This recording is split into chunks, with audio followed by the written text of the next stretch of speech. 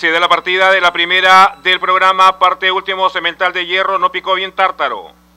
De inmediato, Sol Brillante, Juan Carquino buscan la punta. En el grupo se aprecia a Stravinsky Dance, luego ganando terreno por fuera Admiral Sidney, a su costado el Atlantic. Ha recorrido así los primeros 300 metros, va avanzando Skimming Dance por dentro y Stravinsky Dance a su costado, dos prácticamente en línea. Ha dominado Stravinsky Dance. En el segundo lugar, Skimming Dance. En el tercer puesto, Sol Brillante. Cuarto, el Atlantic. A su costado lo hace Admiral Sidney. Más atrás viene ubicándose Cash. A continuación ha quedado Tártaro. Último han dejado a Cemental de Hierro. Así se van acercando a los 800. En la punta marcha Stravinsky Dance. Stravinsky Dance con ligera ventaja. En el segundo lugar, Sol Brillante.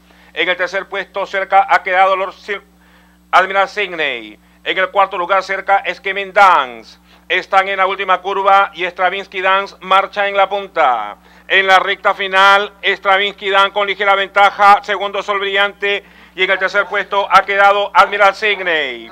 Faltando 250, Cash avanza por fuera acompañado de Sol Brillante. Stravinsky Dance tercero, en el cuarto lugar ha quedado Admiral Sidney. Faltan 150, ha dominado Cash. Cash quedó en la punta, en el segundo lugar Sol Brillante, en el tercer puesto el Atlantic. Faltan 50 Cash en la punta del Atlantic, pasa al segundo lugar. Faltan 30 Cash con ligera ventaja, segundo el Atlantic. El tercer puesto para Sol Brillante. Luego remata, muy cerca Stravinsky Dance, a su costado Admiral Signe y luego Tártaro. Más atrás Cemental de Hierro.